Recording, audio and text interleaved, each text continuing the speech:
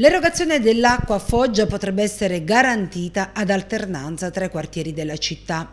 Un'eventualità estrema che potrebbe essere attuata nel momento in cui la pressione dell'acqua garantita dall'intervento di bypass fosse molto debole, tanto da non soddisfare l'intero fabbisogno dei quartieri della città rimasti a secco da ieri sera.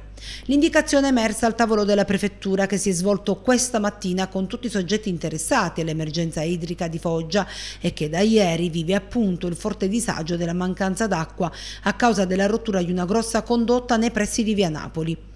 Un enorme guasto registrato intorno alle 21 di ieri sera e causato dalla rottura di una delle più grandi condotte della città, con ogni probabilità condotte molto datate e logorate. Quindi abbiamo capito il tipo di danno che c'è, bisogna sostituire due tubi e siamo in attesa del reperimento dei pezzi speciali che servono per unire i due tubi al resto della condotta per iniziare a ristabilire il flusso nella, nella rete ma nel frattempo stiamo realizzando dei bypass che ci permetteranno di alimentare la città di Foggia in maniera alternativa. I tempi tecnici li stiamo valutando e stabilendo, non siamo in grado di dare adesso delle informazioni, però stiamo lavorando alacremente sia sulla riparazione della grande rottura e sia sulla realizzazione dei bypass.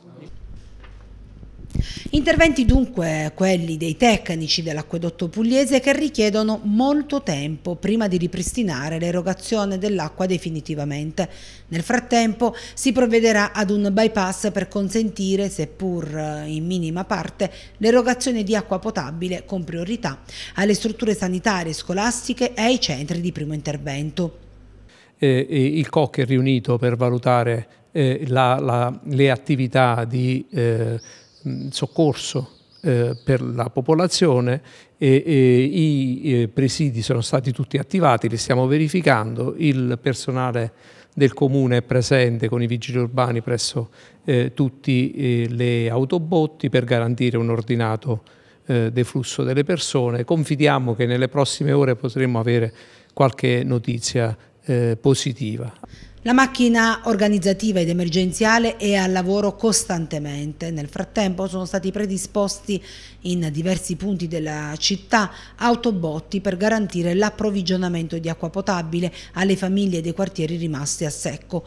Continuano dunque le riunioni e i tavoli tecnici per aggiornare lo stato dei lavori e capire passo dopo passo i tempi reali di ripristino.